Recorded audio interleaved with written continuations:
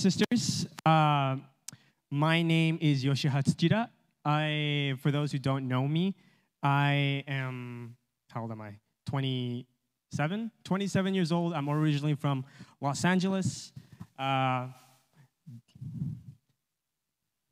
oh, yeah, this is my family. I am the eldest of six, uh, six kids. My dad's Japanese, my mom's from Nicaragua. Um, yeah, I, I kind of grew up in a weird age where like I was no technology and then suddenly video games started really popping up. And yeah, I, I played a lot of video games growing up, but never did I imagine I'd be here talking, making video games, let alone talk about video games in front of a Sunday service. So here we are. Um, yeah, so what I want to talk about today is EQ Studios, the team that I'm here up here representing. Um, EQ Studios is a team that was formed uh, it predates us making video games, but we are a team right now of eight. Many people have come and gone through, but we have our eight members. Uh, one, our lead programmer is in Japan currently. And uh, these are just some of the faces that you may see. You may recognize a few, you may not. Um, but yeah, we've been living in Las Vegas for, or at least I've been in Las Vegas for the last seven plus years. And yeah, I, today I want to be able to share kind of what we're up to and kind of also my story uh, through the studios and how that impacts the work that we do. Okay, so first of all, oh, I guess yeah, the, the, the next thing I want to explain is like we, so our first game is called The Painscreek Killings. It is a mystery investigation adventure game. Um, it's the first game we ever put out. Um, it is uh, it is it is a walking simulator. It is a experience of where people gets to go to this abandoned town and kind of explore the. If you're really a fan of who done it mysteries, this is really right up your alley. And uh, it took us five years in development to get this game from like planning stage all the way to the end production where we were able to put it on the store and on sales. So yeah, this is a huge achievement for us, but you know, this is also the work of my entire team over the course of last five years.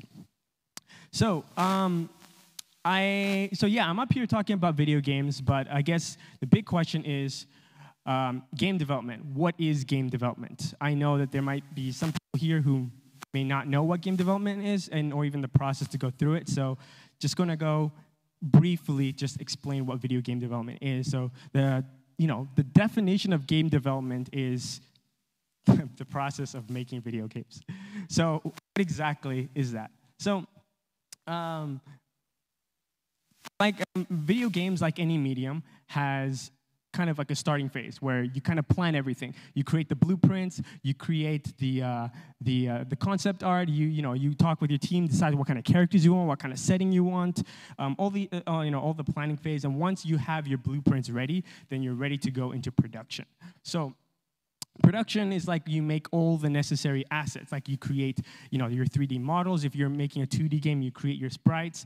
You create all these individual assets that make up your world. And like music, um, you know, falls into that category. Um, you have also your your game asset art.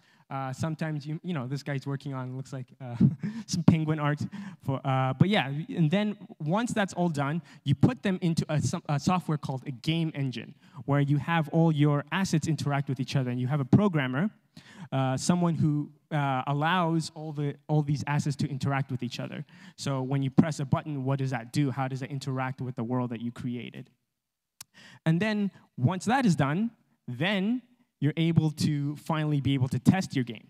And this is where kind of the monotonous process of testing your game over and over and over again because you know once it's out in the market there's no way to, uh, like back in the day there was no way to change it. So you had to do testing over and over and again. And you know you iron out all the bugs make sure that there's no problems because you know once your game has a problem you know it's it's it's not really a good look for your studio. But yeah after you finally have a game that's able to be you know put out um, for sale. Um, yeah and so whatever your game is, it could be like a simple challenge to get from like point A to point B, and or you could it could be a narrative interactive experience where you're trying to tell a story of something, or it could be even just a social interactive game where you want to just allow the players to you know interact with each other. Regardless, video games is simply a medium in which we're able to give an experience to play that is more interactive, where they are in control of their actions. So, um, yeah, the next thing that I want to talk about is just like a small testimony on my part of how I got started with all this. So, um, I so it's just some something really short about me. I I didn't go to college. I didn't learn. I know I didn't go to college to learn about video game development. The only thing that I had going for me was just I loved animation. I had some sort of passion towards uh, creating small short stories when it comes, you know. And, when I was a kid, I would just use my parents' computer and just make these tiny like stick animation, uh, and that's kind of where it started. So around EQ Studios, before it became a game development company, was actually a freelancing, uh, freelancing company where they outsourced their work for other you know, clients, other people who needed work, mainly in computer graphics. So they also started a small school, and they, the school ended up, you know, the school, they, they wanted to have like maybe, uh, was total of 10 kids, I could be wrong, 10 kids, um, and basically every week we would have like some small classes session. So that's what I did. For two years, I did that. So it's equivalent to like, you know, taking lessons for music, but in this case, it was computer graphics 101. I did that for two years when I was in high school, so that was 13 to maybe when I was 15. And that's pretty much the extent of my education when it comes to, you know, working with software. Um, yeah, so, and then after that period, I think I, you know, I, I finished high school, I went to GPA, uh, after GPA, I was kind of lost, didn't really have a direction. And at that point, EQ Studios was in the transition of becoming a freelancing company to finally, they wanted to make their own IP, hence going to game development. So, and it was around this period, maybe it was like 2014, 2015, that I kind of was onboarded onto the team. And this is me, I think, in our very first studio working on the game. Uh, and this was eventually what would lead to Painscreek killings. So um, I'm, I'm not like you know for the sake of context i'm not anyone special you know i am i'm not someone gifted with a lot of, of a lot of you know uh, i don't have like some hidden talent where i'm like really good at art i just had this passion for wanting to tell stories and from there you know i think like any other person i always you know i always had one foot in one foot out so like I when, when anyone anything what anyone does, they always want to know what's in it for them. You know, what's in it for me? What what am I going to benefit from this? And I was no different. But the entire ride was very exciting for me. I like from here I was able to you know uh, this is uh, this is a small little kind of old sketch of what the town looked like, and this is kind of like all the uh, uh uh, kind of like all the details that we wanted to have in our little makeshift town. And I was so excited to work on this. I, I was like, this is the first time where I get to create my own world. And I, for the first time experience, I mean, I can't imagine what you know, what it was like for God to create the entire existence. But through this, I was like so excited, like all these small details, like, oh my gosh, I can't wait for the players to interact with this. Oh my God, this flower, I can't wait for people to look at it. Oh my gosh, this trash can that's out there on the street. I was so excited. I was like, wow, this is my, you know, the world that I'm helping build, I'm, I'm creating, that, I'm, that eventually players are going to be able to experience later on.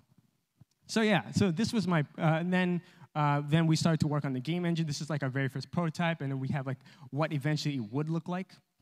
So yeah, this was kind of the process. I had a weird love-hate relationship with the entire process. I loved the work in it, but at the same time, I was very hesitant with with where my life was going because, you know, I, you know, I, at this point, I think I might have been like 23 years old you know, it, the production went on for, it was, it was supposed to be six months, eventually became one year, two years, three years. And, you know, I, I didn't know where, I didn't have any sight or any direction of where this was going. Um, as, you know, as someone who, who who had no direction in life, I, you know, th- I was content with doing this, but at the same time, I asked myself, what's the purpose of all this? Why am I here? Like, why am I pushing myself to do this every day? Why? So these are all questions I asked, why I was still doing this, and it re- became to a point where, like, I, like I, as I said before, I had one foot in and one foot out. So I think and I think every person, and this is this goes for anything, you know, this is not just specifically game development. When you have one foot in and one foot out, you always have this, you know, uh, you know, you have this perspective. Oh, if things don't work out, then I could always just exit. That's why you keep one foot in, one foot out, right? You say to yourself, okay, if things don't go my way, I'm just gonna hitchhike. I'm gonna, you know, it's the same thing with probably relationships as well. So, you know, if you if, if you use the back door pretty often, then the back door often becomes an option. You get to say, yeah, it doesn't work out for me, I'm gonna leave. So that was kind of my attitude being in the company. I didn't really have a stake in it. I didn't really feel like, you know, that this was something that I could take ownership of. Then on February, not February, uh, July, July 16th, 2017, I remember the date specifically because there was kind of in this moment where I had this flip moment. You could say it was like kind of an experience with God, and that's a, that's a different story for another day. But something changed in me that day. I, long story short, I got to see a perspective, like a small glimpse, a small taste of what, of what God wanted to do with media for the world.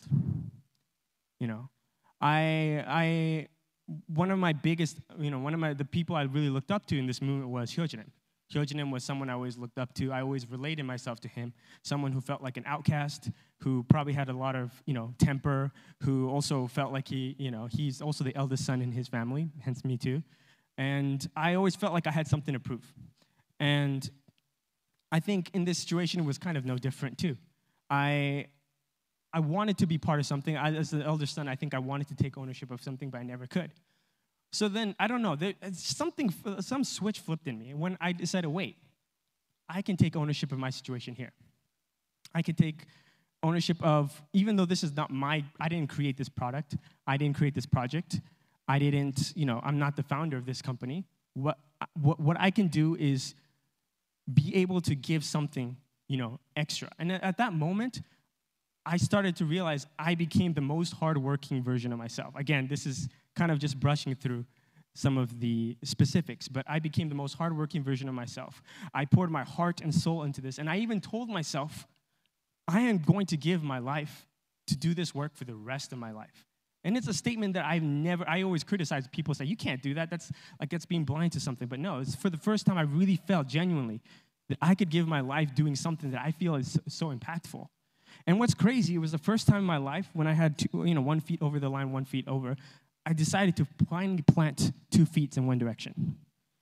And it's an incredible feeling. I'll, t- uh, you know, brothers and sisters, I, let me tell you, when you finally decide to make that commitment where you find, when you, when you decide to focus on a specific direction, what's crazy is you close any back door that you have, right? You close any, you know, and you only, you're now, your entire intention is focused on what's in front of you no longer is, oh, can I exit, but more like, how am I going to accomplish what's in front of you? You know? And it was an uphill battle. Like, not, I'm not saying that everything became sunshine and rainbows after that. It was a tough battle. Like, we, I, there was a time where we had to hit a deadline because we, we have expos, we have, you know, uh, we have a specific deadline between the year of when to release the game for our marketing purpose. And sometimes I would sleep four hours a day for an entire week too and I asked myself, wait, dang, okay, this is, is this the life I'm gonna live? But with this newfound commitment, I was, I really, really felt there's a lot of value to have. And after, so, so three months, a few months after the July 16, 2017, we finally released our game. We finally released it. We reached the finish line, and I very, very well remember our whole team was gathered around one computer and then we, you know, we, there was like this one button, like the publish button, and we were all like, you know, anticipating. We clicked it, and we were so excited, you know, that we finally reached the milestone that we finished the game. It took five years in development.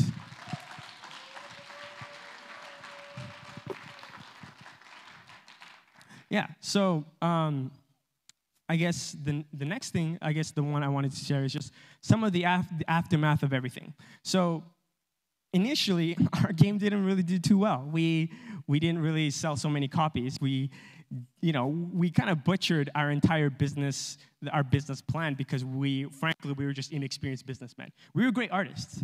You know, we were great developers, but we didn't know how to run a business. And making a, you know, creating a video game, you need to know about marketing. You need to know about how to sell your game properly.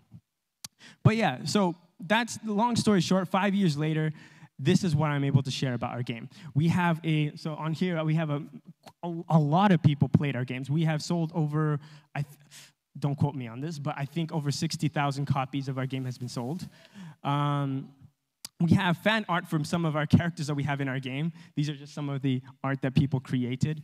Um, this is, this is, I think, one of the characters that uh, a lot of people seem to like for some reason. Uh, this is, uh, you know, two rivals in also two characters in our game, and we even had someone who did a cosplay of one of our characters. That's uh, that's a, one of the ghost character that you can see, and she dressed up as the ghost from our characters, and it was so exciting. It was I, you know, and not just not just that too, but we had amazing reviews from um, um, from many people. Um, I think if you Google us on the Painscreek Killings on Google, you'll see that we're 9 out of 10 Steam, and uh, you know, GOG and Humble Bundle also rated us pretty high. Um, um, so why am I sharing this? Why am I sharing about our accolades? I think what I didn't realize back then, you know, when I first started making the video games, was I didn't, you know, when I first started the development, was I didn't know the type of impact that we could have for many people. Um, you know, you know, despite we only sell a certain amount of copies, we definitely have more eyes on our games. People loved our content, and as I said before, I'm not anyone special. I think I, you know, I'm, I'm someone who'd even graduate high school properly. I didn't, um, I didn't, I didn't, you know, get the best grades in school. I'm not a straight A student. I, I was close to failing. I was really close to failing. And, but we had the ability to impact people. So this is us at, at one of the expos. Like one of my favorite things is actually being able to interact with real fans people who came up to us and say, "Hey, I played your game," and some people even have questions like, well, "So what's up with this character?" You know, it was it was crazy to see that how much impact that we had on people, and this and this is not something that I you know that I can a victory that I can just claim for myself. This was the hard work and effort of our team for an entire you know period of time, and what I'm, I think, more more proud than I am of, of making a, a, a, you know a commercial product. I am very, very proud of all the relationships and the, the unity that our team had. You know, there were times where we were in the red, where we had no money, yet our team still stayed and wanted to, with this vision in mind of we wanted to impact the world, we we, we trudged through any of the, a lot of the difficulties that we had. You know, we didn't always get along with each other. Some, you know, we lived and worked in the same place initially before we had an office. So there was friction in that. There, you know, there was you know, our living conditions. Sometimes, uh, you know, uh, if uh, if you know, I there were times where like I was close to leaving because of my teammates. I'm like, I can't work with these guys. But it's through this unity of really, you know, of going through thick and thin, that we're able to stand here in front of our, you know, in front of this kind of like a world stage and present to the people and show our hard work, blood, sweat, and tears. And I, you know, I think for me, the greatest joy for me is being able to see people really fall in love with what we've created. So I think one of the things that so one of the things that I realized that helped me was being able to give, like, plant a seed in me, you know, through either whether if it's classes or whether if it's like me being able to interact with people. So we want, I, I think our team wants to give that opportunity to people. So uh, yeah, I'm excited to announce that we're gonna, I think uh, starting December, we're going to have a game dev club for any young people or even anybody who wants to come and join. I think we're going to make it high school and above, but we want to give the opportunity for people to have a chance to uh, interact with anything related to game development, ask us questions, get to know, so we, you guys can get a head start in. So we really believe that there is, um, the media has the impact to change this world. So the last thing I think I want to uh, leave you guys with is, you know, oftentimes, and this is kind of just my reflection from being part of the team for this long time. Oftentimes, you don't really know, you can't really see the fruits of what you've been working on. You know, I, you know, ask me five years ago, you know, um, where I'll be, you know, will our game even sell? Like, I didn't even know about that. Um, or do you, are you able to make a living off this? I wouldn't even know that, you know. Um, what do you want to do in the future? I, even then, I didn't even know what I wanted to do. And I, I think, yeah, for me, it was really putting trust and faith in God and in this, in this feeling that He instilled in me. Again, I can't, I can't explain to you why I believe that this is so important. I can't explain to you why I feel so called, you know, to want to do this work, to be part of this, you know, of the gaming industry, or even just to share about media in general. But I, I really trust that God had something really amazing planned for the future.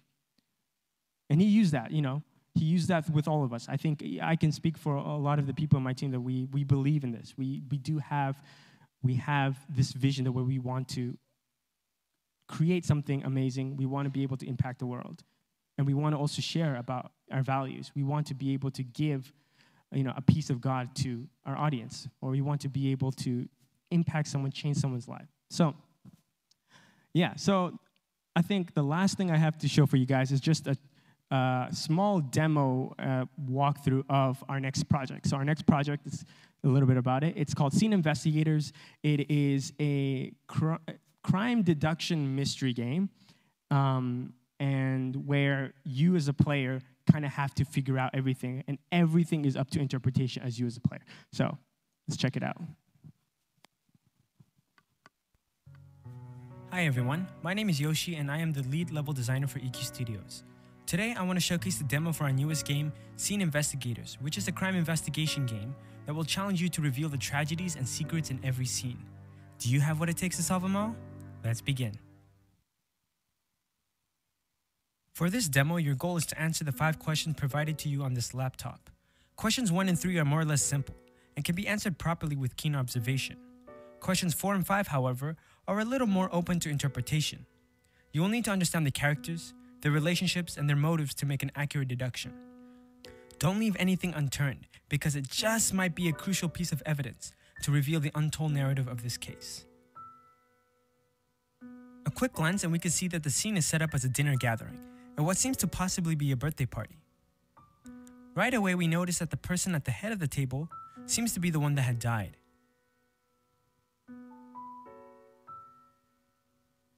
As we take a closer look, we can see that the table here was set up for five people, and it seems that one didn't show up.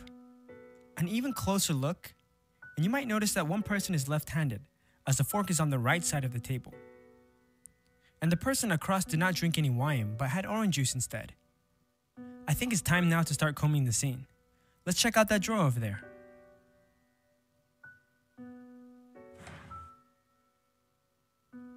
Here we have an open envelope addressed to a Clara Gibson from a Heather Brown. Not sure how this is helpful.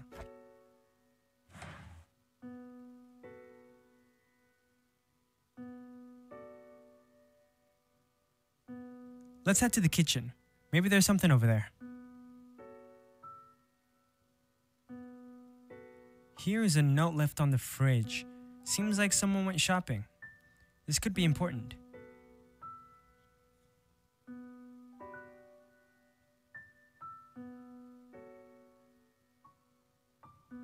Ah, now here's something that gives us quite a bit of info. This is the guest list for the gathering. Seems there are only three names. So who are the other two people? Hmm, what's this? Oh, this is a wallet and it belongs to uh, Henry Gibson. And now here's something. The address on the ID is the exact same one on the envelope. And Henry also shares the same last name as Clara. Could they be a husband and wife?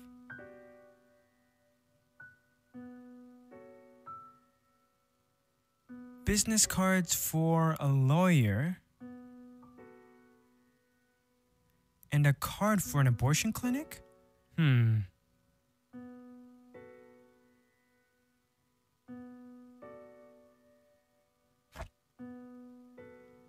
Okay, let's take a look in here.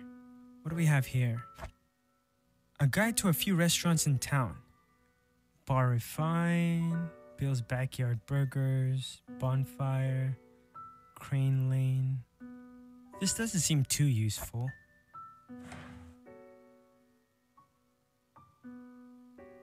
Oh, what's that over there?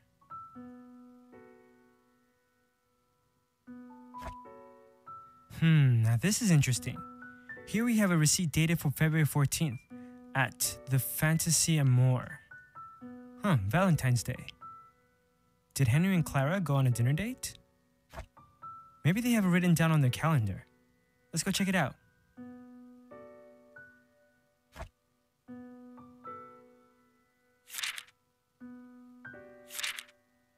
Huh? Clara was out of town for that week? Something doesn't add up. Who did Henry go to dinner with? As you see, the game requires careful observation of the information and items in the scene. All these are clues and potential pieces of the bigger picture, and it's your challenge as the investigator to decide which ones are important and how they fit together. If you think you got what it takes to solve this case, please give it a try. Thanks for watching.